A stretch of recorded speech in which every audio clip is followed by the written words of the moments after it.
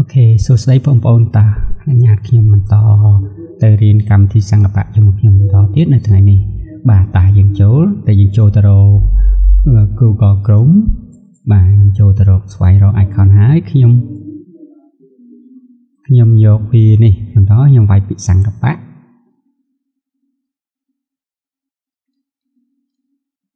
បាទនេះនេះចុចលើវានេះ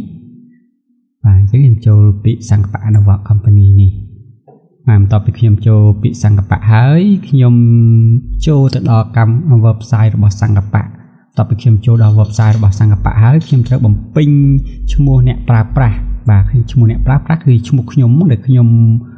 ចូលទៅក្នុងការប្រើប្រាស់របស់កម្មវិធីសង្កបៈហ្នឹងប៉ុន្តែមុននឹងខ្ញុំចូលទៅបានឈ្មោះយកមកប្រើប្រាស់តើតើខ្ញុំនឹងចុះឈ្មោះចូលចុះឈ្មោះនៅក្នុងកម្មវិធីសង្កបៈហ្នឹងសិន បាទដោយសារតែខ្ញុំបានចុះឈ្មោះរួចរាល់ហើយអញ្ចឹងខ្ញុំយកឈ្មោះអ្នកប្រើប្រាស់របស់ខ្ញុំយកមកប្រើនៅក្នុងកម្មវិធីសង្កបៈហ្នឹងអញ្ចឹងខ្ញុំចាប់ផ្ដើមប្រើនេះជាឈ្មោះរបស់ខ្ញុំតមកខ្ញុំវាយលេខកូដដែលលេខកូដសម្ងាត់ហ្នឹងគឺលេខកូដដែលខ្ញុំដាក់ក្នុងឈ្មោះរបស់ខ្ញុំបាទបាទតបខ្ញុំចូលគណនីបាទ ដោយសារតែវាដំបងអញ្ចឹងគេសុំឲ្យជ្រើសរើសអ្នកប្រើប្រាស់ម្ដងទៀតអញ្ចឹងខ្ញុំសុំចុចកន្លែងនេះម្ដងទៀត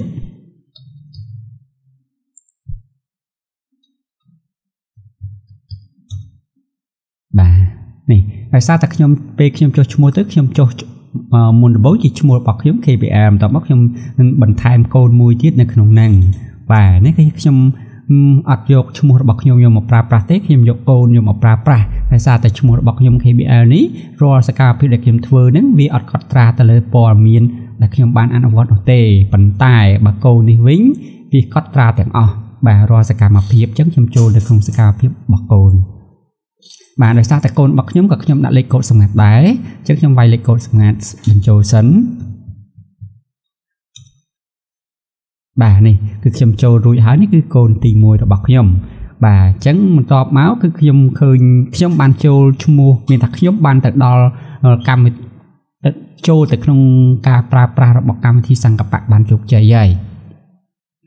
ចឹងខ្ញុំអាចរៀនរាល់សកម្មភាពទាំងអស់នៅក្នុងកម្មវិធីសង្កបៈបានប៉ុន្តែខ្ញុំមិនរៀនទាំងអស់ទេតែថ្ងៃនេះខ្ញុំចាប់ផ្ដើមយកមេរៀនថ្នាក់ទី1ភាសាខ្មែរបាទអញ្ចឹងដោយសារខ្ញុំតពីសប្ដាហ៍មុនឬក៏ពេលមុនខ្ញុំយកភាសាខ្មែរបាទលេងចូលរជំនាញនឹងចុចជំនាញដោយសារសប្ដាហ៍មុនឬក៏ពេលមុនខ្ញុំរៀនអំពីបាទមេរៀនទី 52 53ប្រកបនឹងណណបន្តបាទអញ្ចឹងថ្ងៃនេះខ្ញុំបន្តទៅមេរៀនទី54និង55ប្រកបនឹងបបបន្តបាទបនិងបបន្តប៉ុន្តែមុននឹងខ្ញុំចូលទៅរៀនកម្មវិធីសង្កបៈនៅក្នុងមេរៀនទី44និង45ប្រកបនឹងបនិងបបន្ត ខ្ញុំមិនទាន់ចូលទៅក្នុងសកម្មភាពទាំង6នោះភ្លាមនោះទេខ្ញុំទាញវាទៅលើខ្ញុំចូលទៅធ្វើលំហាត់វាតម្លៃសិនបាទនេះគឺជាលំហាត់វាតម្លៃខ្ញុំចូលដល់ពាក្យវាតម្លៃនេះសិនបាទបន្ទាប់មកខ្ញុំជ្រើសភាសាខ្មែរខ្មែរបាទបន្ទាប់មកខ្ញុំទាញរកមេរៀនទីបាទ54 55បាទនេះប្រកបបនិងបបន្តបាទ ចឹងក្នុងលំហាត់ហ្នឹងគឺអត់ខុសពីលំហាត់មុនមុនដែរគឺយើងមានរយៈពេល3នាទីដែលយើងអាចធ្វើវាបានបាទហើយមាន10សំណួរចឹងសំណួរទី1គេឲ្យយើងចូលចុចជ្រើភ្ជញ្ជាអ្នកនឹងស្រៈដើម្បីបង្កើតពាក្យត្រូវនឹងរូបភាពអញ្ចឹងយើងមើលរូបភាពតើរូបភាពហ្នឹងគេតំណាងដោយពាក្យអ្វីហ្នឹងពាក្យដែលគេផ្ដល់ឲ្យដែលមានភ្ជញ្ជាអ្នកនឹងស្រៈអូខេសំទោសភ្ជញ្ជាអ្នកនឹងនឹងភ្ជញ្ជាអ្នកបន្តបាទអញ្ចឹងមើលមួយណាដែលត្រូវនឹងរូបភាពហ្នឹង ប្រអប់ទី1ប្រអប់ទី2ឬក៏ប្រអប់ទី3បាទចឹងយើងអាចរៀនប្រកបវាមកដើម្បីមើលរូបភាពនឹងតើរូបភាពនឹងគេតំណាងពីមួយណាអញ្ចឹងខ្ញុំថារូបទី2អញ្ចឹងខ្ញុំចុចបន្តទៀតបាទលំហាត់នេះគេថាចូលជ្រើសភ្លេងជាអ្នកអង្ស្រៈដើម្បីបង្កើតពាក្យឲ្យត្រូវរូបភាពដូចគ្នានេះគេមានរូបភាពបែបហ្នឹងតើរូបភាពបែបហ្នឹងគេតំណាងដោយពាក្យអីគេអញ្ចឹងនេះគឺជាពាក្យដែលយើងអាចប្រកបទៅធ្វើម៉េចឲ្យវាត្រូវទៅនឹងរូបភាពហ្នឹងឬក៏មានន័យប្រហាក់ប្រហែលទៅនឹងរូបភាពហ្នឹងអញ្ចឹងមានពីគេដាប់ចាប់ឬក៏កាត់បាទដាប់បាទរូបភាពនេះចូលចុចជ្រើសពាក្យដែលត្រូវតាមរូបភាពរូបភាពនេះរូបអីដែរអូរូបបាទចូលចុចជ្រើសពាក្យដែលត្រូវទៅនឹងត្រូវតាមរូបភាពតែរូបភាពនេះគេតំណាងពាក្យអីគេដាប់កាប់ឬក៏ចាប់អូចាប់បាទលំហាត់ទី5ចូលចុចភ្ជាប់ពាក្យឲ្យត្រូវអញ្ចឹងមានថា ពាក្យនេះគឺពាក្យខាងចុងតែយកយកកន្លែងនេះយកទៅបំពេញកន្លែងចន្លោះនេះអញ្ចឹងឧបមាថាតានប់ទំនប់ឬក៏ទំនប់អញ្ចឹងមួយណាអញ្ចឹងតានប់បាទឬអីគេអូខេឧបមាថាខ្ញុំថាយកតានប់សាក់ដងមើលមើលណាចូលចុចភ្ជាប់ពាក្យឲ្យត្រឹមត្រូវនេះដូចគ្នាដែរសំសំអីគេសំណាបសំឡាបសំណាបសំនៀបបាទបាទសំនៀបបាទអញ្ចឹងមួយណា បាទអញ្ចឹងយកពេកនេះបាទដៃនេះគឺជាកណ្ដឹងរោបញ្ជាក់ថាយើងនៅសល់ពេលប្រហែលជាមួយនាទីទៀតបាទវានឹងបញ្ចប់បាទនេះទៀតគឺយើងចុចភ្ជាប់រនៀបអានៀបឬក៏រ៉ាល់នៀបដែលយើងហាយហៀបច្រើនគេថាអានៀបចាំមើលខ្ញុំសាក់រមើលសិនមើលបាទទី8ចូលចុចជ្រើសពាក្យដាក់ក្នុងរបស់ឲ្យត្រូវពូលៀបលីចប់ទៅកាប់ដីប៉ះចំ បាទយីហ៊ុយយីហ៊ុបសំទោសកំណប់សំណាបអញ្ចឹងមួយណាអញ្ចឹងយើងថាកំណប់ឬក៏សំណាបបាទចៅដៀបអូខេស៊ុបនៅលើនៅលើរនៀបបាទអញ្ចឹងមា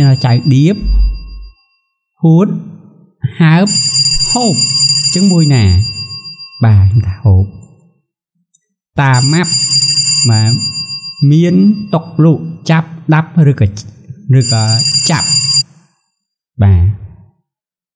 ដោយសារតែ3នាទីវាខ្ញុំធ្វើអត់ទាន់មានន័យថាខ្ញុំនៅសល់លំហាត់មួយទៀតដែលខ្ញុំមិនបានធ្វើអញ្ចឹងមានន័យថាខ្ញុំធ្វើត្រឹមត្រូវបានតែ5ទេហើយខ្ញុំធ្វើខុសរហូតដល់4បាទខ្ញុំរំលងមួយគឺលំបាសចុងក្រោយអញ្ចឹងយើងទៅមើលប្រវត្តិតេស្តទាំងអស់គ្នាបាទនេះមេរៀនទី54និង55បាទសំណួរទី10អសំទោស មាន10សំណួរបាទត្រឹមត្រូវ5ខុស5ណាមិនមិនបានធ្វើមិនបានឆ្លើយគឺ1មានថាខុសហ្នឹងវារួមនឹងមិនបានធ្វើនឹងដែរណាកុំច្រឡំថាចុះអានេះ5 5 10មិនអានេះចេញមួយទេវាឡើង10មួយមិនមែនទេពីខុសហ្នឹងមានខុស5ហ្នឹងរួមបញ្ចូលមិនបានឆ្លើយដែរបាទភាគរយនេះ50%ការបដិឆេទនេះគឺជាថ្ងៃដែលខ្ញុំត្រូវបដិឆេទថាថលវេលាដែលខ្ញុំត្រូវធ្វើនេះមើលលំហាត់ទេខ្ញុំទៅមើលលំហាត់អ្វីដែលខ្ញុំបានធ្វើ បាទលំហាត់ទី1ពាក្យអីគេកប់អូអានេះប្រហែលជាខុសបច្ចេកទេសគប់ដាប់ដាប់បាទចាប់ត្រូវបាទខ្ញុំសូមបញ្ជាក់បញ្ជាក់ទៀតមានថារាល់លំហាត់ដែលមានបេតគេរង្វង់មូលពណ៌ ខៀវនិងធីកដោយមាននិមិត្តសញ្ញាធីកពណ៌បៃតងនេះនៅតំគ្នាហ្នឹងនៅនៅនៅនៅត្រូវគ្នាហ្នឹងមានន័យថាលំហាត់ហ្នឹងត្រឹមត្រូវបាទអញ្ចឹងបើវាខុសវិញវាទ្រង់ទ្រីបែបនេះវិញហ្នឹងណា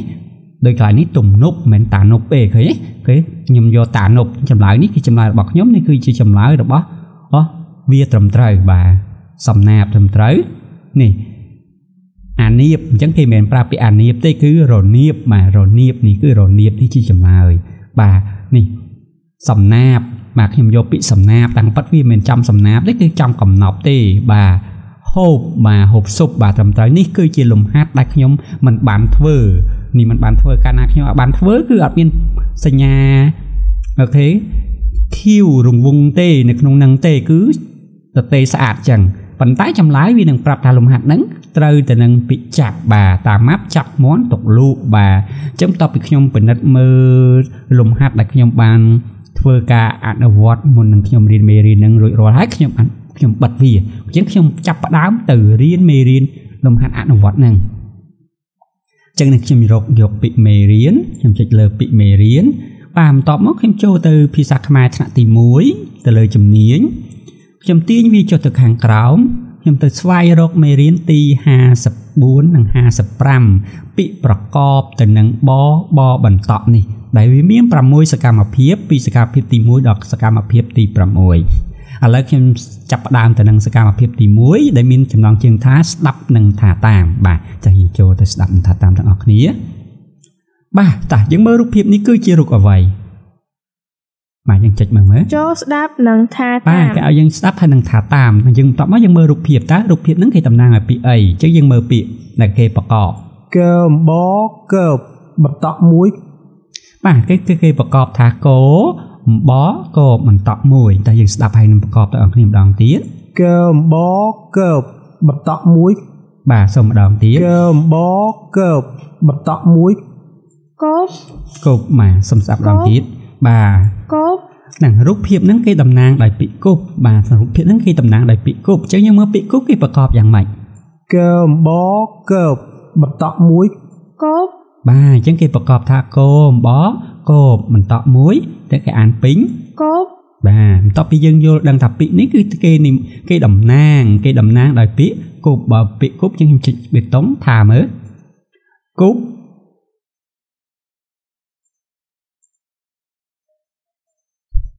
គប់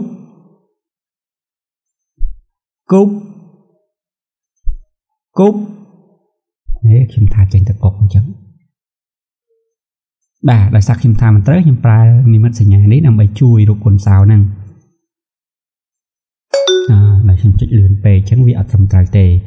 បាទរាល់កាលណាយើងឆ្លាក់អឺផ្ដល់ចម្លើយមិនត្រឹមត្រូវវាចេញរូបរាងបែបនេះថាចម្លើយរបស់អ្នកត្រឹមត្រូវគឺគប់បែបនេះប៉ុន្តែចម្លើយនេះចម្លើយចម្លើយរបស់អ្នក គឺនេះហេដោយសារខ្ញុំនិយាយទៅវាចេញ record ច្រើនតែក៏ប៉ិតពាក្យគេនេះគឺគប់ប៉ុណ្ណេះទេបាទអញ្ចឹងបន្ទាប់ពីយើងមើលពីអ្វីដែលយើងកំហុសហើយយើងចូលទៅពាក្យយល់ព្រមបែបនេះខាងលើនេះក៏បានខាងក្រោមនេះក៏បានចុចមួយណាក៏បានដែរចូលស្ដាប់និងថាតាមបាទគេឲ្យយើងស្ដាប់នឹងថាតាមបន្តទៀតយើងមើលរូបភាពនឹងតំណាងដោយពាក្យអីបាទបន្ទាប់មកយើងមើលទៅលើ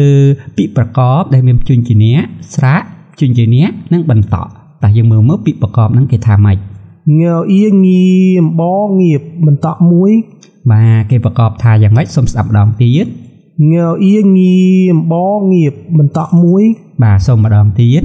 ងើអៀងីអំបងៀបបន្តក់មួយ បាទសូមស្ដាប់ពាក្យពេញងាប់បាទសូមស្ដាប់ពាក្យពេញងាប់បាទសូមម្ដងទៀតងាប់បាទពាក្យហ្នឹងគឺគេតំណាងដោយពាក្យងាប់បាទពាក្យហ្នឹងគេតំណាងដោយពាក្យងាប់អញ្ចឹងងាប់គេប្រកបពាក្យថាម៉េច អូយខ្ញុំសុំបាទ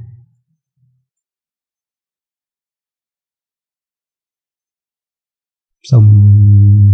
ពង្រីកវាឲ្យរៀងធំបន្តិចដើម្បីយើងស្រួលមើលបាទបាទនេះគឺរៀងធំប៉ុណ្ណឹងណាបាទអញ្ចឹងពាក្យនេះគឺពាក្យអីគេ អូខេសូមស្ដាប់ម្ដងទៀតងើអៀងីអំបងៀបបន្តក់មួយងាប់បាទរូបភាពហ្នឹងគឺតំណាងដោយពាក្យងាប់អញ្ចឹងប៉ុន្តែពេលបងអូនបានរៀនជាមួយខ្ញុំអញ្ចឹងយើងព្យាយាមកត់ពាក្យនឹងຕົកផងបាទយកសភៅឲ្យកត់ពាក្យនឹងមកអញ្ចឹងយើងមើលតែពាក្យងាប់គេប្រកបយ៉ាងម៉េចងើអៀងីអំបងៀបបន្តក់មួយងាប់ងាប់អញ្ចឹងយើងខ្ញុំយល់ថារូបភាពហ្នឹងគេតំណាងដោយពាក្យងាប់បន្ទាប់ពីខ្ញុំយល់ហើយខ្ញុំចុចបេតុងដើម្បីថាតាមងាប់ បាទដោយសារតែពាក្យហ្នឹងវាអត់ចេញឲ្យទេដោយសារគេថាពាក្យដែលអេมันល្អក្នុងកម្មវិធីគេមិនឲ្យមានពាក្យហ្នឹងទេបាទអញ្ចឹងដើម្បីឲ្យវាត្រូវខ្ញុំចុចកូនសោជំនួស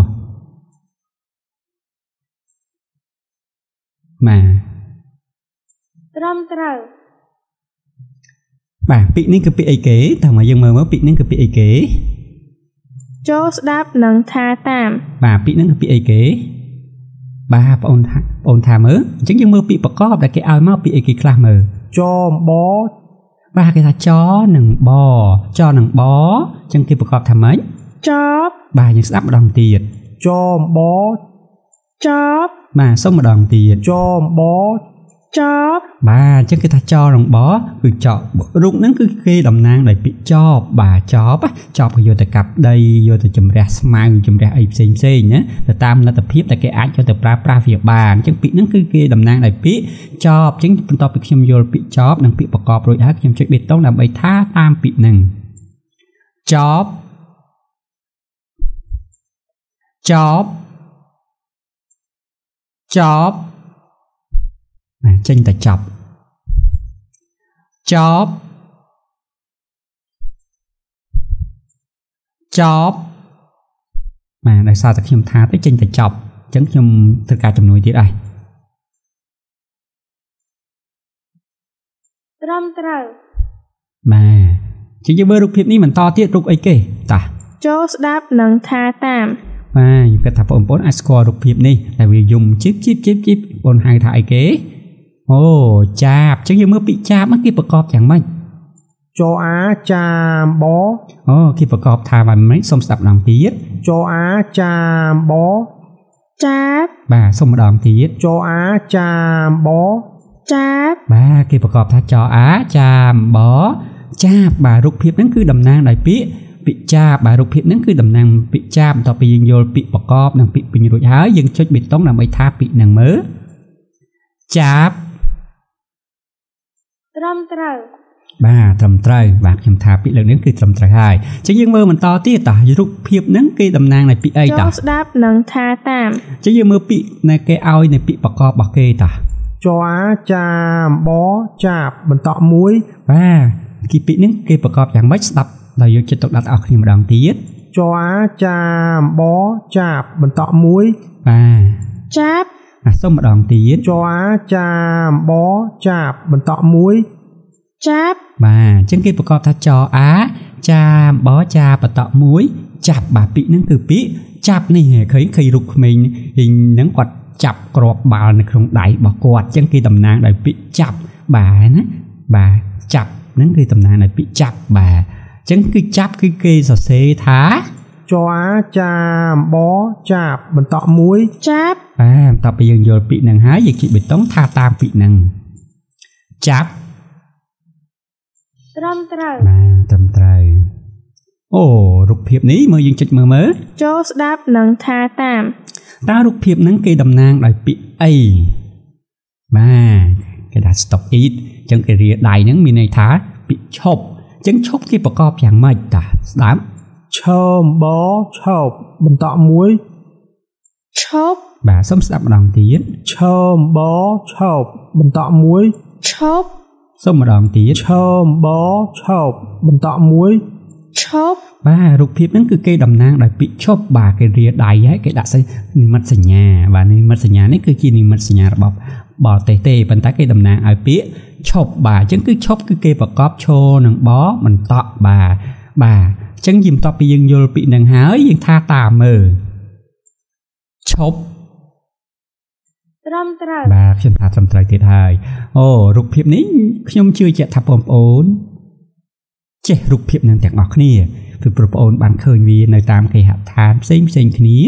បាទនឹងមានទ្រង់ទ្រាយផ្សេងផ្សេងគ្នាដែរហើយនឹងមានពណ៌ក៏ផ្សេងផ្សេងគ្នាដែរអញ្ចឹងរូបភាពនេះគឺគេតំណាងដោយពាក្យដំបបាទគឺដល់ហ្នឹង បអញ្ចឹងគេថាម៉េចដប់10អញ្ចឹងស្ដាប់ឲ្យប្រកបទាំងអស់គ្នាម្ដងទៀតដំបដប់បាទសូមម្ដងទៀតដំបដប់បាទពាក្យហ្នឹងគឺគេតំណាងដោយពាក្យ10អញ្ចឹងពាក្យ10គេប្រកបយ៉ាងម៉េចស្ដាប់ជាលើកចុងក្រោយដំបដប់បាទតបពីបងស្ដាប់ប្រកបនឹងយកពាក្យវាហើយអញ្ចឹងយើងចុចប៊ីតុងថាតាមមើល10ត្រឹមត្រូវបាទខ្ញុំថាត្រឹមត្រូវទៀតហើយ តាយើងបន្តទៀតប៉ុន្តែខ្ញុំសូមបញ្ជាក់បញ្ជាក់ទៀតកុំភ្លេចកត់ពាក្យដែលយើងបានរៀននៅថ្ងៃនេះចូលទៅក្នុងសភៅបងប្អូនផងបាទតាបន្តទៀតរូបភាពហ្នឹងគេគេតំណាងអីគេមានញួរផងមានបលិផងក្តាប់ដៃចាប់ដឹងហ្នឹងគេហៅអីគេបាទបងប្អូនខ្លះគាត់បាន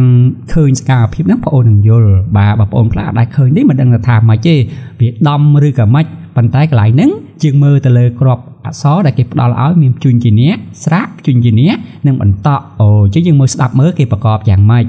ដអាដាមបដាបបន្តមួយដាបបាទយើងលឺហើយអញ្ចឹងយើងស្ដាប់ម្ដងទៀតតា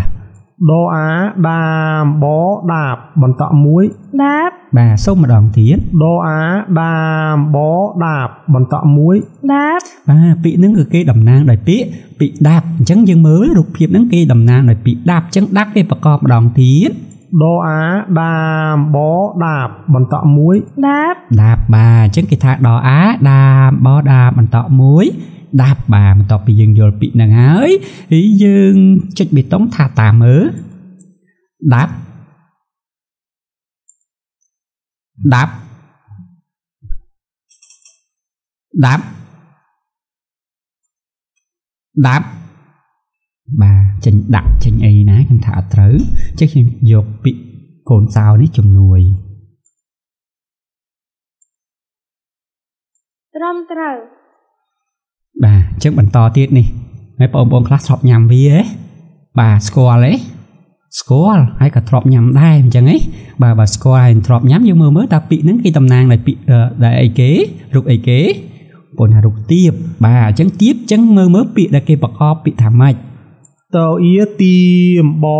បាទគេអានគេប្រកបថាតអ៊ីទៀមបបាទអញ្ចឹងយើងស្ដាប់ម្ដងទៀតតអ៊ីទីអំប ទៀបបាទសូមម្ដងទៀតតអ៊ីទីអំបទៀបបាទរូបភាពហ្នឹងគេតំណាងដោយពាក្យទៀបអញ្ចឹងមើលមើលបងអូនស្ដាប់មើលថាពាក្យទៀបហ្នឹងគេប្រកបយ៉ាងម៉េចម្ដងទៀតតអ៊ីទីអំបទៀបបាទបន្ទាប់ពីបងអូនយល់រូបភាពនិងចេះពាក្យប្រកបនិងចេះពាក្យពេញអញ្ចឹងយើងចុចបេតុងថាតាមមើលតើយើងថាត្រូវតាមពាក្យដែលយើងបានលើមិញអត់ទៀបបាទចេញទៀបនេះគឺទៀបខ្ពស់ ទៀប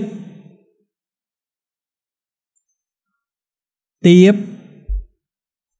បាទខ្ញុំថាទៅចេញតតោដាក់សាអៀនិងបគឺស្អាគឺស្អៀហ្នឹងបាទអញ្ចឹងគឺទៀបហ្នឹងបាទអញ្ចឹងវាមិនត្រូវនឹងតាមពាក្យអ្វីដែលយើងបានរៀននេះទេអញ្ចឹងខ្ញុំត្រូវការចុច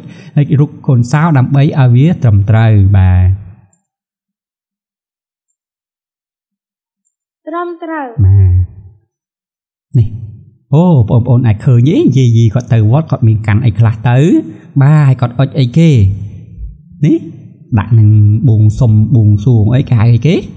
ធុកហ៎បាទធុកបើធុកអញ្ចឹងយើងមើលមើលថាធុកគេប្រកបយ៉ាងម៉េច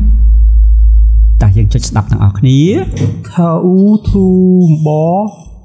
ធូបបាទសូមស្ដាប់ម្ដងទៀតថអ៊ូធូអំប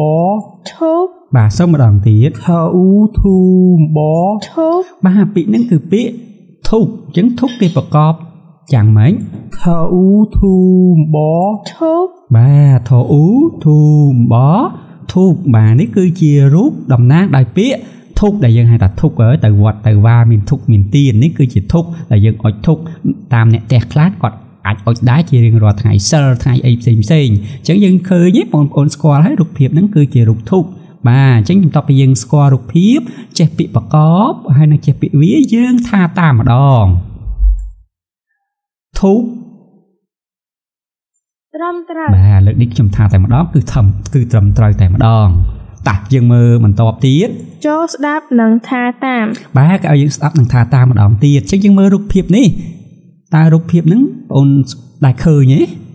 អូបងអូនថាដែរឃើញណាមិនដែរឃើញនៅពេលណាអូមានគេអញ្ជើញការអញ្ជើញអីហ្នឹងគេឲ្យរូបហ្នឹងអញ្ចឹងអាហ្នឹងគេហៅអីគេចាស់បាទរូបហ្នឹងគេហៅថាធៀបធៀបណាធៀបហ្នឹងគឺជាធៀបការធៀបគេឡើងគេហដ្ឋានណាផ្សេងផ្សេងណាទៅតាមផ្សេងផ្សេងអញ្ចឹងយើងមើលពីតាធៀបហ្នឹងគេប្រកបយ៉ាងម៉េចថអ៊ីធីអំបបាទសូមស្ដាប់ម្ដងទៀត ថអ៊ីធីអំបធៀបបាទសូមម្ដងទៀតថអ៊ីធីអំបធៀបបាទពាក្យហ្នឹងគឺពាក្យធៀបបាទធៀបណាធៀបហ្នឹងបងប្អូនយល់ពាក្យហ្នឹងគឺពាក្យធៀបអញ្ចឹងបងប្អូនមើលស្ដាប់លើពាក្យធៀបហ្នឹងម្ដងទៀតហើយគេប្រកបនឹងពាក្យពេញយ៉ាងម៉េច ថអ៊ីធីអំបធៀបបាទបងប្អូនយល់ហើយ គឺគេប្រកបធអ៊ីធៀមប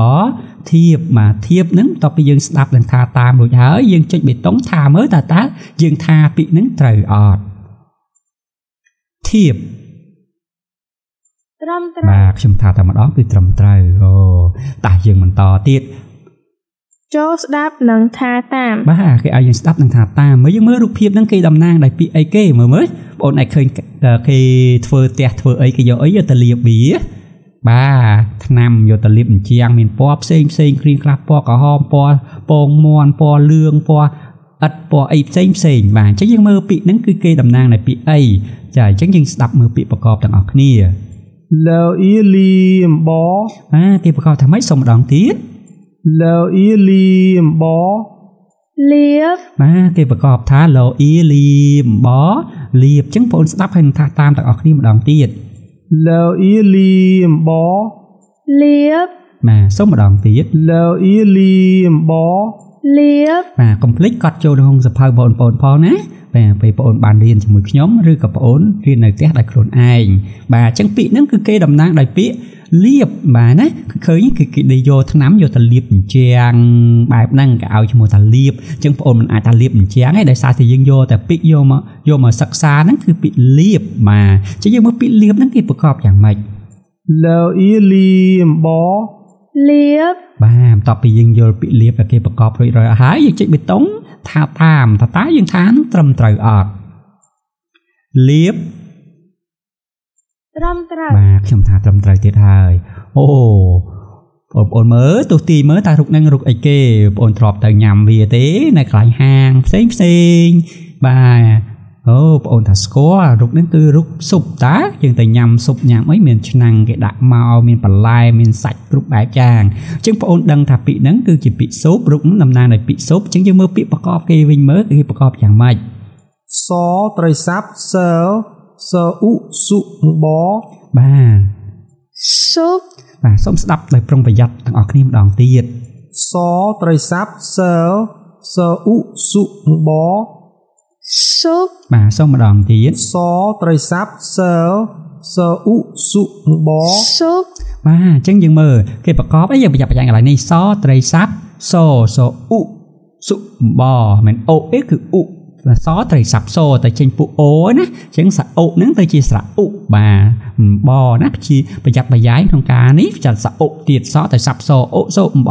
សូបបែមិនចេញសុបទេណាសអ៊ុណាបងប្អូនប្រយ័ត្នកន្លែងហ្នឹងមែនតែនបាទបាទពេលយើងជីពេលយើងត្រូវស័ព្ទវាហ្នឹងបាទអញ្ចឹងយើងយើងយើងស្ដាប់មើលម្ដងទៀតខ្ញុំសូមអឺ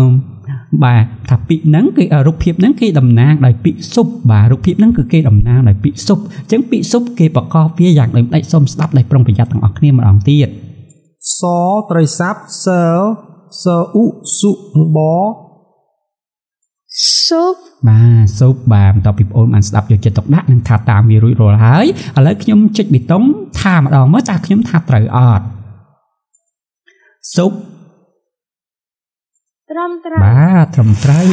បាទចុះបងអូនដឹងទេតើយើងរៀនមេរៀនហ្នឹងគឺយើងមានប្រមាណពាក្យដែរដែលយើងរៀនថ្ងៃហ្នឹងតាក់ទងនឹងបនឹងបបន្តបង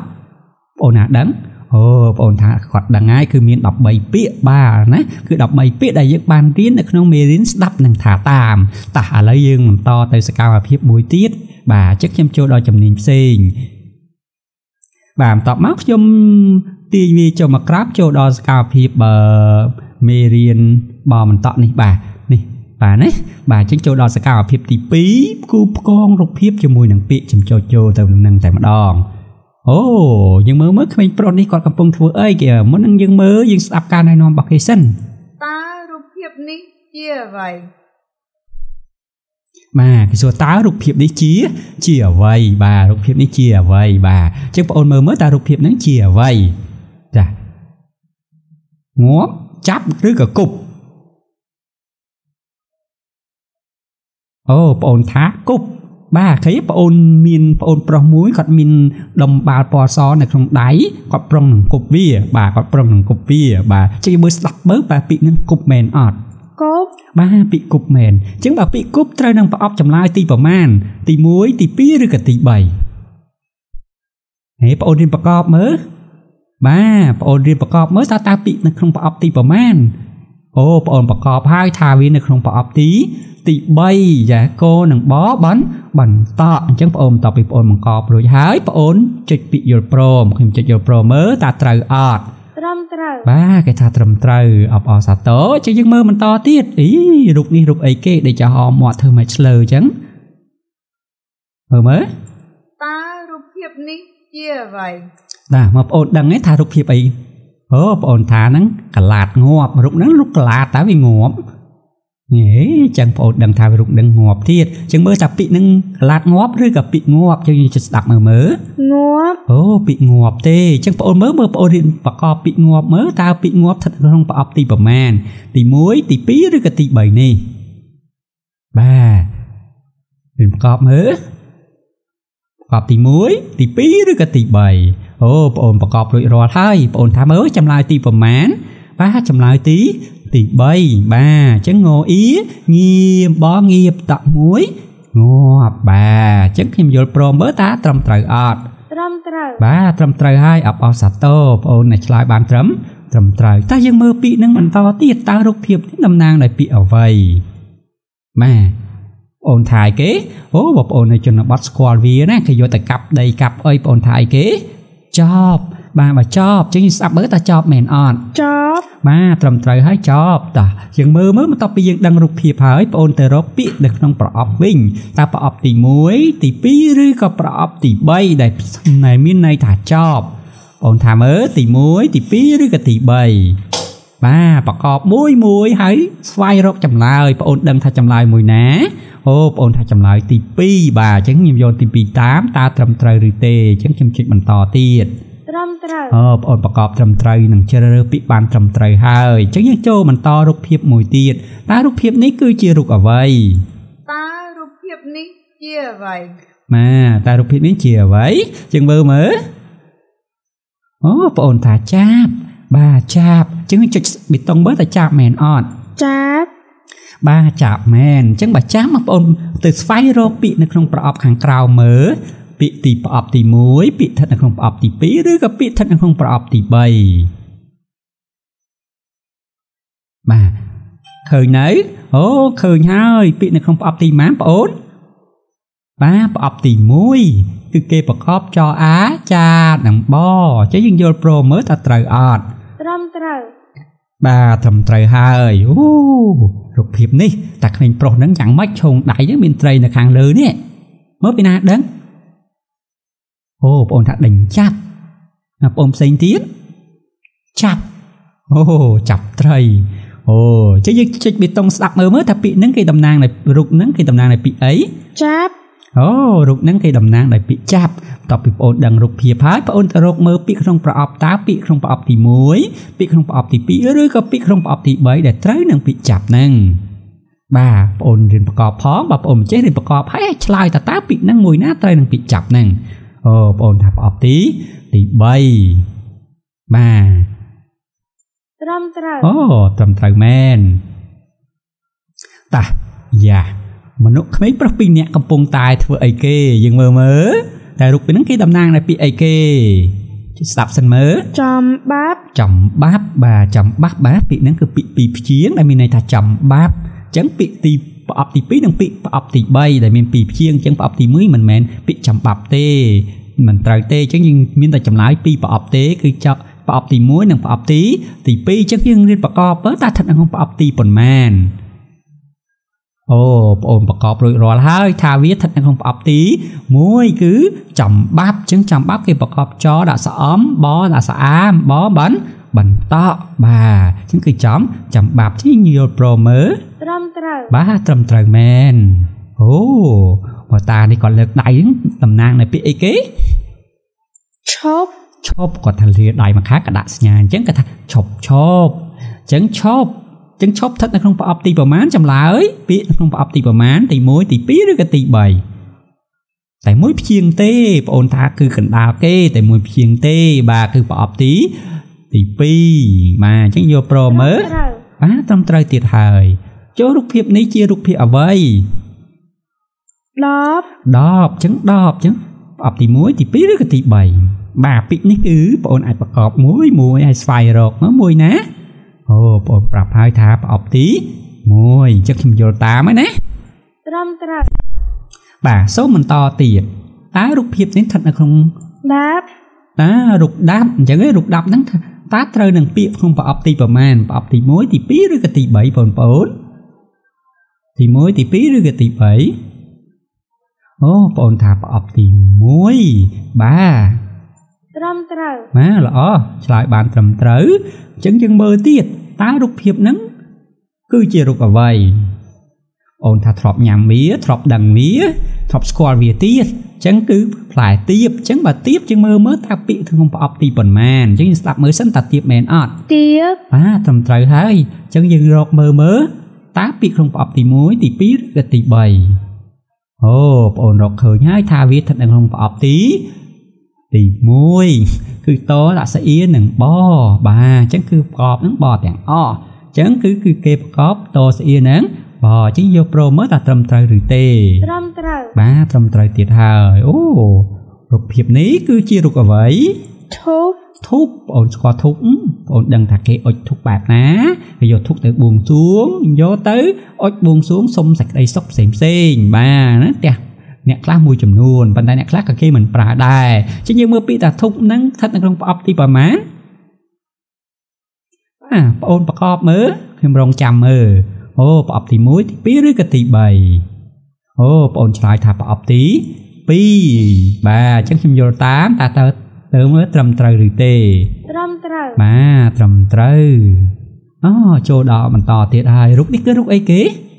អូនថាធៀបការ ចឹងធៀបការចឹងមើលចុចស្ដាប់មើលធៀបការមែនអត់ធៀបធៀបទេរូបធៀបចឹងធៀបត្រូវនឹងពាក្យក្នុងប្រអប់ទីប៉ុន្មានប្រកបមើលអូបងប្រកបហើយអានវាថាស្ថិតក្នុងប្រអប់ទីទី3ចឹងខ្ញុំយល់តាមត្រឹមត្រូវបាទត្រឹមត្រូវទៀតហើយចឹងយើងមើលរូបភាពហ្នឹងគេតំណាងឲ្យពាក្យអីគេលៀបលៀបអូនេះពណ៌អីនេះពណ៌ខៀវខ្ចីចឹងហ៎ បាទហើយតងខ្ចីទេអីអូខេចឹងមានពាក្យអីគេតាបាទទៅស្ដាប់ដងទៀតលៀបលៀបតាពាក្យក្នុងប្រអប់ទីប្រមាណទី1ទី2ឬក៏ទី3អូបងអូនថាថាក្នុងប្រអប់ទី1ត្រឹមត្រូវតើរូបនេះអូមើលមើលអូបងអូនថាពាក្យគេស្រែមិនស្រែទេអីជីស្ដាប់មើលសិនមើល សំណាបអូសំណាបទេចឹងបើជាសំណាបស្ថិតនៅក្នុងប្រអប់ពាក្យទីប៉ុន្មានបាទស្វែងរកឲ្យខ្ញុំអូបងអូនរកឃើញហើយស្ថិតក្នុងប្រអប់ទីទី1ត្រឹមត្រូវបាទអូនេះស្អីគេវ៉ៃមានទឹកធ្លាក់មានអីផងមើលមកដឹងទេដឹងរូបអីគេទេអូន អូបងអូនអត់ដឹងទេអញ្ចឹងយើងជួយស្ដាប់មើលមើលទំនប់អូរូបទំនប់អញ្ចឹងទំនប់ស្ថិតនៅក្នុងពាក្យប្រអប់ទីប្រមាណមើលយើងរៀនប្រកបមើលបាទប្រអប់ទី1គឺចាំបាប់ប្រអប់ទី2ទំនប់ប្រអប់ទី3សំណាបចេះស្ដាប់ម្ដងទៀតមើលទំនប់អូស្ថិតនៅក្នុងប្រអប់ទី2តាអញ្ចឹងយើងត្រឹមត្រូវបាទអូមានពងទាកូននៅក្នុងនេះស្រែគឺអីគេបងអូនណាធ្លាប់ញ៉ាំអូ បងអូនថាធ្លាប់ញ៉ាំអញ្ចឹងពីហ្នឹងគេហៅពីអីគេស៊ុបបាទអញ្ចឹងយើងចុចមើលមើលស៊ុបស៊ុបបាទស៊ុបអញ្ចឹងយើងរកពាក្យមើលថាមួយណាពាក្យស៊ុបបងអូនថាមានតែប្រអប់ទី3ទេសត្រីសាប់សហ្នឹងបាទអ៊ុនឹងបត្រឹមត្រូវបាទបន្ទាប់ពីយើងធ្វើជំនាញទី2ចប់រួចរាល់ហើយចឹងយើងចូលដល់ជំនាញបន្ទាប់ទៀត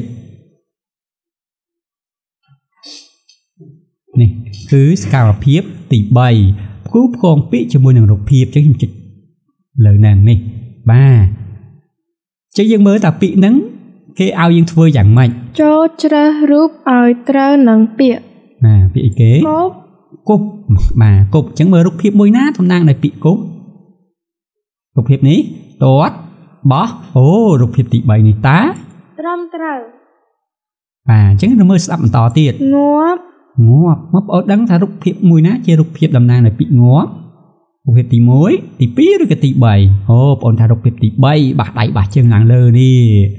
បាទត្រឹមត្រូវចប់ចប់ណារូបភាពមួយណាស្មើត្រូវនឹងរូបចប់អូស្តៀងស្តៀងគ្នាបងស្គាល់ទេបងថាស្គាល់ប្រអប់ទី1ហើយរូបចប់អូត្រឹមត្រូវ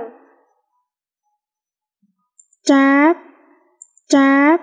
អូបាក់សីទាំងអស់ខ្ញុំមិនស្គាល់ទៅនឹងរូបមួយណារូបចាបរូបនេះរូបនេះឬក៏រូបនេះបាទបងអូនមិនយល់ទេរូបនេះគឺជារូបចាបរូបនេះមិនមែនជាសត្វចាបទេរូបនេះក៏មិនមែនជាសត្វចាបដែរវាជាសត្វលលោកអូអញ្ចឹងរូបមួយនេះគឺរូបចាបបាទអញ្ចឹងខ្ញុំចុចយល់ព្រមត្រឹមត្រូវ ណាតោះបន្តទៀតចាប់ចាប់មើលមើលបងអូនមើលមើលរូបភាពមួយណាតែគេតំណាងពាក្យចាប់មកទី1ទី2ឬក៏ទី3អូចម្លើយទី1ត្រឹមត្រូវបាទបន្តទៀតតើយើងបន្តទៀតចំបាប់ណារូបភាពមួយនេះតំណាងឲ្យពាក្យចំបាប់បងអូនអបទី1ទី2ឬក៏ទី3សិតតែមនុស្សពីរអានេះមនុស្ស3នាក់មួយដេកដួលបាទនេះ មួយនេះមួយណាអូប្រអប់ទី2ទេនេះគេចាប់បោកគ្នានេះចំបាប់បាទត្រឹមត្រូវបាទបន្តទៀតតើហឹមពាក្យនេះគឺពាក្យអ្វីឈប់មួយណាបងអូនទី1ទី2ឬក៏ទី3បាទបងអូនថាទី3រូបគេរាដៃឲ្យហើយឈប់ត្រឹមត្រូវដប់អូគាត់នឹកឃើញ10បងអូនដឹងហ្មង ហ៎ពាក្យហ្នឹងគឺធ្លាប់ប្រើប្រាស់បាទត្រឹមត្រូវដាប់ដាប់មើលមកមួយណាប្រអប់ទី1ទី2ឬក៏ទី3អូប្រអប់ទី2មិនមែនទេមានតែប្រអប់ទី1និងទី3អញ្ចឹងប្រអប់ទីម៉ានប្រអប់ទី1បាទគេដាប់ឈើត្រឹមត្រូវទៀបអូបងអូនថាស្គាល់ណាផ្លែទៀបហ៎មួយនេះតែម្ដងបាទគឺប្រអប់ទី3ត្រឹមត្រូវ ឈប់ធូបអូមួយណាបាទទី1ទៀនទី2ទុយោទី3ធូបអូរូបភាពទីទីត្រឹម3ត្រូវធៀបធៀបបាទមើលមើលមួយណាធៀបអូកម្របសិភៅភាសាខ្មែរថាទី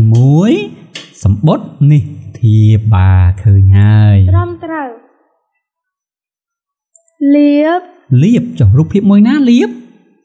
ទី1ទី2ឬក៏ទី3 អូទី1ចំបាប់ទី2ថាទេទី3ហ្នឹងហើយនេះគេលៀបហឹមការ៉ូអគេលៀបឥតនេះទៅជាពណ៌ផ្សេងបាទត្រឹមត្រូវសំណាបបាទអីសំណាបបងប្អូនឆ្លស្គាល់សំណាបទេបងខ្លះថាអត់ស្គាល់ទេប៉ុន្តែបងប្អូនបានរៀននឹងពាក្យនេះរួចហើយបងប្អូនបានដឹងថាពាក្យសំណាបគឺស្ថិតនៅក្នុងប្រអប់ទីទី1បាទ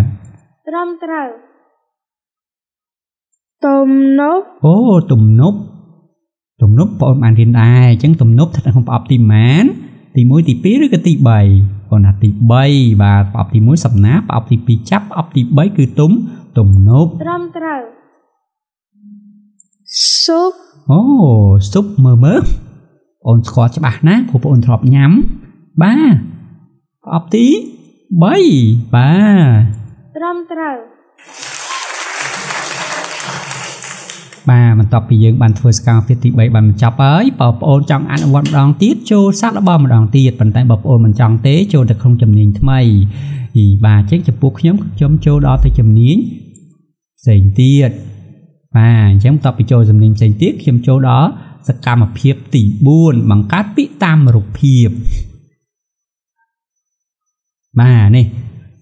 ចឹងគេឲ្យយើងធ្វើយ៉ាងម៉េចចូលបង្កើតពាក្យតាមរូបភាពគេឲ្យយើងបង្កើតពាក្យតាមរូបភាពតើរូបភាពហ្នឹងគេធ្វើអីគេមើលបងប្អូនណាដឹង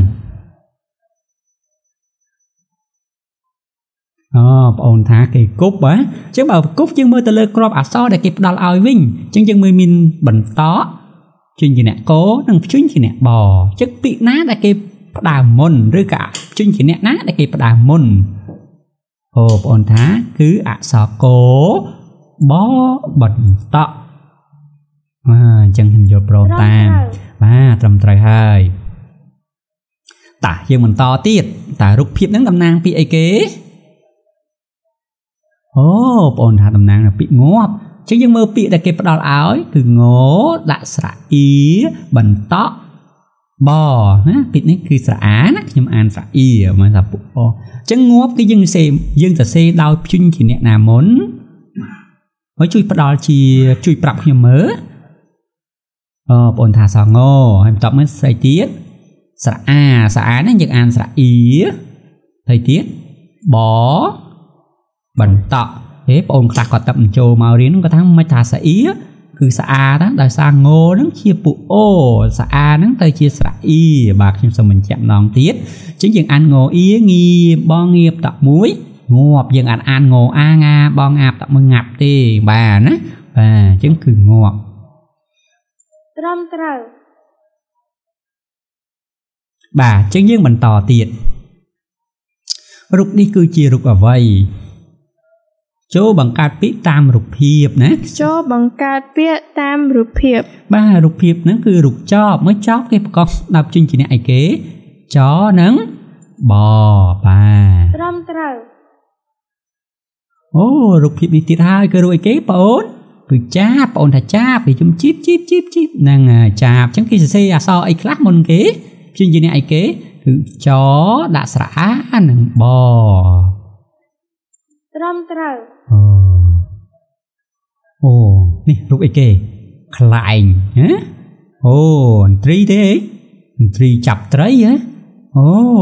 អញ្ចឹងអន្ត្រីចាប់ត្រីនឹងជើងវានឹងកញ្ញាំវាអញ្ចឹងគេតំណាងឲ្យពាក្យអីគេអញ្ចឹងយើងមើលទៅក្របអក្សរដែលគេផ្ដល់ឲ្យមានស្រៈអាបចបន្តក់អញ្ចឹងពាក្យហ្នឹងពាក្យអីគេចាប់អញ្ចឹងគេសេដោយព្យញ្ជនៈអាមុន គឺចដាក់ស្រៈអានិងបបន្តក់បាទត្រឹមត្រូវចូលរូបនេះគឺតំណាងនៃពាក្យអីបងអូនបងអូនថាគេតំណាងនៃពាក្យឈប់បាទឈប់ចឹងយើងសេយ៉ាងព្យញ្ជនៈណាមុនគេឈរនិងបបានតអូត្រឹមត្រូវអូនេះជាដបបងមានដបនេះទេ អត់មានទេទៅមិនមានក៏យើងអាចដឹងដែរថាដបចឹងដបគេសរសេរដល់ព្យញ្ជនៈណាគឺដនិងបត្រឹមត្រូវបាទដល់នឹងបអញ្ចឹងយើងបន្តទៀតតើរូបភាពនេះគឺតំណាងពីអីគេ មានញួរផងមានអីផងបងអូនថាគេតំណាងដោយពាក្យដាប់អញ្ចឹងបើពាក្យដាប់គេប្រកបដោយព្យញ្ជនៈណាមុនគេ ដដាក់អីទៀតស្រៈអាបន្តទៀតបងទៀតគឺបន្តបាទត្រឹមត្រូវបាទរូបភាពនេះគឺជារូបអ្វីហើយពាក្យនេះពាក្យអីគេអូបងអូនថាពាក្យនេះគឺពាក្យទៀបចឹងទៀបគឺគេប្រកបដោយព្យញ្ជនៈនិងស្រៈអ្វីបាទព្យញ្ជនៈត ដាក់ស្រៈអ៊ីនិងបបងប្អូនផ្សេងផ្សេងៗបាទអាចត្រឹមត្រូវហើយណាចឹងខ្ញុំយល់ព្រត្រឹមមត្រូវបាទត្រឹមត្រូវបាទរូបបន្ទាប់ទៀតគឺរូបនេះគឺរូបអីគេធុបបងថាធុបបាទបងស្គាល់ហ្មងហ៎អឺអញ្ចឹងបើបងស្គាល់ថាធុបហើយអញ្ចឹងគេប្រកបយ៉ាងម៉េចធតសៈអ៊ូនិងបត្រឹមត្រូវចុះរូបភាពនេះ បងក៏ស្គាល់ដែរគឺធៀបមកបងអូនណាជួយប្រាប់ខ្ញុំមួយមើលធៀបគេប្រកបនឹងព្យញ្ជនៈនិងស្រៈអីបាទព្យញ្ជនៈធតស្រៈអ៊ីនិងបត្រឹមត្រូវបាទរូបភាពនេះគឺតំណាងនៃពាក្យអីគេអូបងអូនថាពាក្យលៀបអញ្ចឹងលោដាក់ស្រៈអ៊ីនិងបត្រឹមត្រូវ អូឃើញចង់ញ៉ាំហ៎មកពីណាចង់ញ៉ាំខ្លះអឺបើចង់ញ៉ាំហើយដឹងថានឹងអីអត់ដឹងហ៎ពាក្យអីគេស៊ុបអញ្ចឹងយើងមើលពាក្យស៊ុបគេប្រកបដោយព្យញ្ជនៈនិងស្រៈអ្វីខ្លះអូនណាអាចប្រកាសប្រកបប្រាប់ខ្ញុំបានតាខ្ញុំចុចតាមសតទៀតត្រីសាបដាក់អីទៀតស្រៈអូតែនេះទៅជាស្រៈអ៊ូ និងអីគេទៀតបជាងយើងរងចាំមើលត្រូវអត់ត្រឹមត្រូវបាទត្រឹមត្រូវឥឡូវយើងចូលដល់ជំនាញមួយទៀតដោយសារយើងចាប់មួយជំនាញទៀតហើយបាទអញ្ចឹងខ្ញុំចូលដល់ជំនាញទី5គឺសរសេរតាមអានបងប្អូនធ្លាប់សរសេរតាមអានទេអូធ្លាប់នៅសាលារៀនបងប្អូនណាអញ្ចឹងណា អញ្ចឹងថ្ងៃនេះយើងសរសេរតាមអានមកមេរៀនកម្មវិធីសង្កបៈនេះម្ដង យើងមើលមើលថាគេគេយើងចាចូលស្ដាប់និងសរសេរតាមអានគេឲ្យយើងស្ដាប់និងសរសេរតាមអានប៉ុន្តែគ្រាន់តែយើងមើលរូបហ្នឹងហើយយើងដឹងថារូបអីបាត់ទៅហើយយើងស្ដាប់មើលមើលគប់អូគប់ចឹងគប់គេសរសេរដោយព្យញ្ជនៈអង្ស្រៈអ្វីអូបងអូនប្រាប់ថា គេសរសេរដោយព្យញ្ជនៈកនិងប មួយណាណាណាបនេះបន្តត្រឹមត្រូវបាទត្រឹមត្រូវ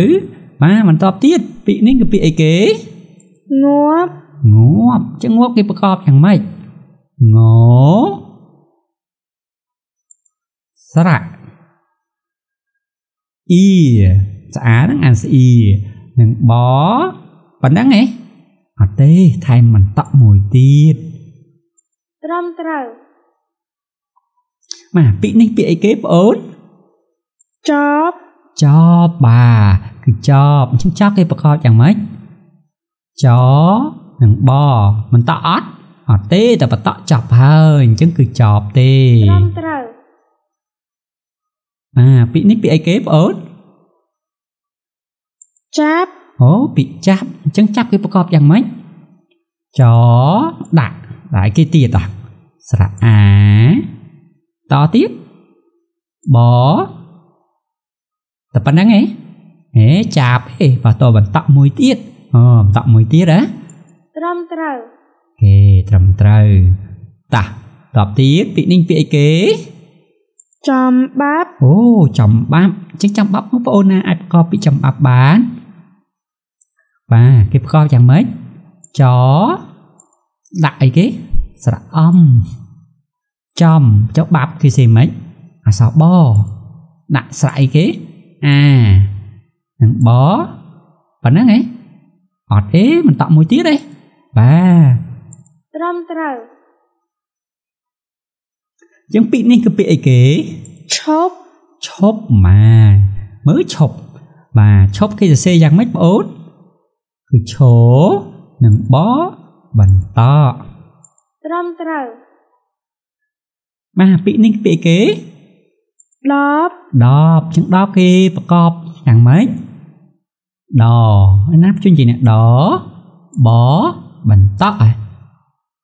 មែនទេតែបន្ត10ឯងចឹងតែដអំបឯងបាទត្រឹមត្រូវ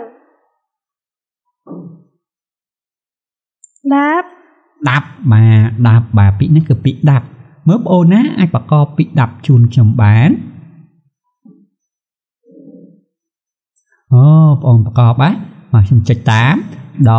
ស្អីទៀតស្រៈអាបន្តទៀតបប៉ុណ្ណឹងឯងអូថែមមួយទៀតគឺបន្តបងប្អូនផ្សេងបាទឯកភាពយ៉ាងដែរហ៎ត្រឹមត្រូវបាទបន្តទៀតពាក្យអីគេនេះទៀបទៀបបាទបងអូនស្គាល់ផ្លែទៀបហើយអញ្ចឹងបងអូនសេពាក្យទៀបមើល សេណាមើលប្រាប់ខ្ញុំខ្ញុំចុចតាម គឺអក្សរតដាក់ស្រៈស្រៈអីគេអ៊ីមិនស្អាណាសាគឺស្រៈអ៊ីហើយនឹងគេនឹងបត្រឹមត្រូវទំនោះបាទរូបនេះគឺរូបទំនប់អញ្ចឹងទំនប់គឺសរសេរយ៉ាងម៉េចអូអក្សរត ដាក់ស្រៈអំហ្នឹងគឺស្រៈអ៊ុំទុំណាឯណាណនឹងបបន្តក់អញ្ចឹងហ៎បាទត្រឹមត្រូវតាអូបងអូនថានេះគឺជាធុកគាត់នឹងឃើញភ្លាមដឹងភ្លាមធុកឈប់ធុកអញ្ចឹងមកធុកអូនដឹងហើយចឹងយើងប្រកបបន្តទៀតតែមើលធុកគេប្រកបយ៉ាងម៉េចធោស្រៈអ៊ូនិងប ត្រឹមត្រូវចុះរូបនេះគឺរូបអីគេអូនថាធៀបធៀបធៀបមែនជាងធៀបគេសេធោស្រៈអ៊ីនិងបអូខេត្រឹមត្រូវចុះរូបនេះលៀបលៀបបាទលៀបបងប្អូនណាអាចប្រកបពីលៀបបានអូបងប្អូនប្រកបហ៎ អញ្ចឹងខ្ញុំចុចតាមណាអក្សរឡខ្ញុំមើលខ្ញុំរកមើលឡសិនដាក់អីទៀតស្រៈអាហ៎ស្រៈអាហ្នឹងគេអានស្រៈអ៊ីបន្តមកទៀតបបន្តអត់អត់ទេបងប្អូនថាมันបន្តទេលោអ៊ីលៀបបទេតែបន្តលាប់ហើយអញ្ចឹងគឺលៀបទេត្រឹមត្រូវអូបងស្គាល់ទៀតរូបនេះគឺរូបស៊ុបហ៎ ស៊ុបមើលប្រកបពីស៊ុបឲ្យលឿនមើលឲ្យត្រូវផងបាទគឺសត្រីសាប់ហើយគេស្រៈអ៊ុនិងបអានថាស៊ុបបាទត្រឹមត្រូវរូបនេះរូបអីគេស្រូវហ៎សំណាបអូសំណាបទេ សំណាបគេសេមិនមើលជួយប្រកបខ្ញុំបន្តិចមើល អូបងប្រកបថាសដាក់ស្រៈអំចឹងហ៎ណណាណទៀតមិនណូអេណអក្សរអានិងបត្រឹមត្រូវអូយើងបញ្ចប់សកម្មភាពសរសេរតាមអានហើយអញ្ចឹងខ្ញុំចូលដល់សកម្មភាពមួយទៀតគឺបំពេញល្បះគឺជាសកម្មភាពចុងចុងក្រោយតោះយើងចូលទៅធ្វើសកម្មភាពបំពេញល្បះទាំងអស់គ្នា នេះស្ដាប់កាលណែនាំចូលជ្រើសពាក្យទៅបំពេញក្នុងល្បះឲ្យបានត្រឹមត្រូវបាទគេថាចូលជ្រើសពាក្យទៅបំពេញក្នុងល្បះឲ្យបានត្រឹមត្រូវប៉ុន្តែក្នុងនេះគេសេចូលជ្រើសពាក្យទៅបំពេញក្នុងល្បះបាទចឹងយើងមើលតាចៅងឿបយកដុំដីចុចចុចទៀបបាទគេថាចៅងឿបយកដុំដីចុចចុចទៀបមានអត់មានពាក្យអីគេចប់ដប់ឬក៏គប់គប់បាទ ចប់ដប់គប់តាពាក្យមួយណាអូនថាគប់ហ្នឹងហើយអញ្ចឹងចៅងឿបយកដុំដីគប់ទៀបបាទគប់ផ្លែទៀបត្រឹមត្រូវចៅងឿបឃើញកុក3 4ចុចចុចនៅលើទំនប់បាទចៅងឿបឃើញកុក3 4នៅលើទំនប់ឃើញកុកអីគេងាប់ចាប់ ដាបបាទកុកមួយណា មួយណាបងអូកុកងាប់ងាប់3 4កុក3 4ងាប់នៅលើទុំទំនប់ត្រឹមត្រូវបាទត្រឹមត្រូវតាកាបលីចុចចុចទៅកាប់ដីចំកំណប់អូតាកាបលីចុចចុចទៅកាប់ដីចំកំកំណប់ចឹងមើលពាក្យអីគេដប់ចប់គប់បាទគាត់លីអីគេបងអូន អូលីដបទៅកាប់ដីហ៎មែនទេគេលីចប់បាទត្រឹមត្រូវលីចប់ទៅកាប់ដីតាចៅងឿបបាញ់ចុចចុចទុំលើទំនប់បានចំនួន3បាទចៅងឿបបាញ់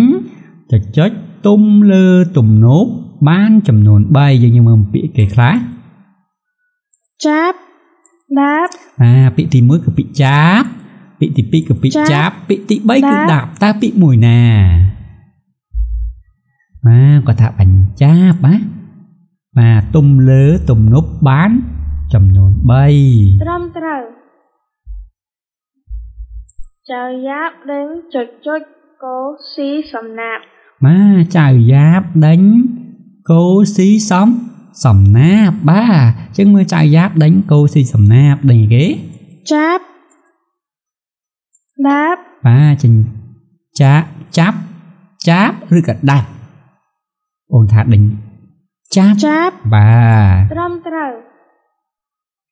កុមារលេងចុចចុចអ៊ូអនៅលើទំនប់ទឹកបាទកុមារលេងចុចចុចអ៊ូអនៅលើទំនប់ទឹកបាទលេងអីគេទំនប់ឈប់ចំបាប់បាទលេងអីគេបងអូនលេងចាំបាប់ បាទលេងចាំបាប់ណាអ៊ូអនៅលើទំនប់ទឹកត្រឹមត្រូវតាកាបថាចៅចៅគួរចុចចុចលេងចំបាប់បាទតាកាបថាចៅចៅគួរចុចចុចលេងចំចាំបាប់តាចំបាប់ទំនប់ឈប់បាទលេងអីគេគួរអីគេគួរឈប់លេងចំចាំបាប់អូត្រឹមត្រូវ ចៅញឿបបើទឹកដាក់ចុចចុចពេញមុនគេ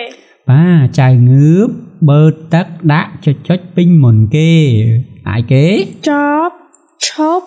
ដប់បងថាដាក់ដបបាទគេលេងបើទឹកដាក់ដបបាទត្រឹមត្រូវពូលៀបចុចចុចដុំឈើកោជាគំនរអាពូលៀបចុចចុចកាប់ចំបាប់ឈប់ បាទឈប់បាទអញ្ចឹងពូលៀបយ៉ាងម៉េចកូនថាកាប់ដុំឈើត្រឹមត្រូវតាស់បន្តទៀតមីងមាត់រៀបចុចចុចដាក់ធនបាទមីងម៉ាប់មីងមាត់រៀបចុចចុចដាក់ធនបាទតាំងពិតគេអានមីងមីងម៉ាប់ណាបាទមីងម៉ាប់មីងមាប់បាទត្រឹមត្រូវហើយបាទខ្ញុំអានខុសរៀប ដាក់ថងបាទរៀបអីគេដាបទៀបលៀបបាទបងអូនថារៀបទៀបទៀបបាទទៀបផ្លែទៀបដាក់ធុងត្រឹមត្រូវយប់មិញមិញមាត់អុចចុចចុចបួងសួងទេវតាបាទគេថាយប់មិញមីងងាប់អុចចុចចុចបួងសួងទេទេវតាអុចអីគេបងអូនគាត់ថាអុចធុកមើលពីមួយណាធូបបាទ ត្រឹមត្រូវពូលៀបរៀបចុចចុចការទុកជួនតាកាបបាទពូលៀបរៀបចុចចុចការຕົកជូនតាកាបរៀបអីគេធូបធៀបលៀបបាទបងអូនថារៀបអីគេធៀបធៀបការបាទត្រឹមត្រូវពូជេបយកទឹកចុចចុច ជើងសក់មុនកៅវាបាទពូជេបយកទឹកចុចចុចជើងសក់មុនកៅវាយកកៃទឹកអីគេធូបលៀបធៀបអូលាទឹកបលាបបាទលាបវាឲ្យសើបជើងសក់សិនមុននឹងកៅវាបាទត្រឹមត្រូវពូជេបតុបទឹកទំនប់ទុកដាក់ចុចចុចបាទទំនប់ចំបាប់សំណាបបាទពូជេបទុកទឹក ទំនប់ទុកដាក់សំសំណាបត្រឹមត្រូវមេងមាត់រៀបរាប់អំពីរបៀបចុចចុចសក់បាទមីងមាប់រៀបរាប់អំពីរបៀបសក់បាទអញ្ចឹងអីគេលៀបឈប់ស៊ុបអូបងតាគេលាបលាបសក់ត្រឹមត្រូវ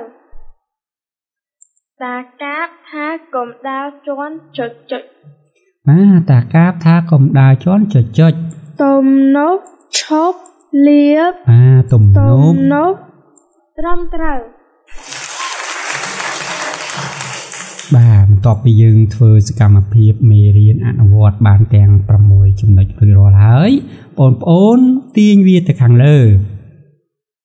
បាទទៅរកពាក្យថាវាយតម្លៃនេះ បាទខ្ញុំចុចលើវាបន្ទាប់មកខ្ញុំទាញទៅរកមេរៀនខ្ញុំត្រូវធ្វើតេស្តបន្តទៀតនេះគឺមេរៀនទី54និងមេរៀនទី50 15បាទនេះគេហៅថាគឺមេរៀនតេស្តដែលយើងធ្វើបញ្ចប់មេរៀនបាទតាតទៀតលំហាត់ទី1គឺនេះគេឲ្យយើង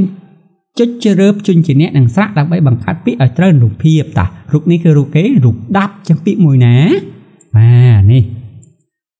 បាទរូបនេះគឺរូបអីគេស៊ុបបាទមួយនេះបាទរូបនេះគឺរូបអីគេធៀបការគឺធៀបបាទ